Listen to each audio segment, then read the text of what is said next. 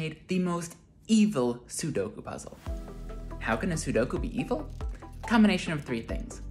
One, replaces the numbers by letters so that when you solve it, there's a secret message. Two, the secret message can have repeated letters, spaces, emojis, or more than nine letters. Three, it lets you create your own puzzle with any of that sneakiness and send it to your friends. If you don't want to use it for evil, that's okay. There's a big library of puzzles with secret messages for you to solve. If you want to watch a giant 25 by 25 Sudoku puzzle get solved, you can do that too. If you want to see it finish solving, go to secretmessagesudoku.com.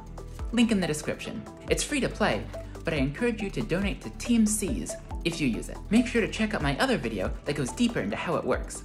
And if you're interested in seeing more computer science projects, please subscribe. Bye!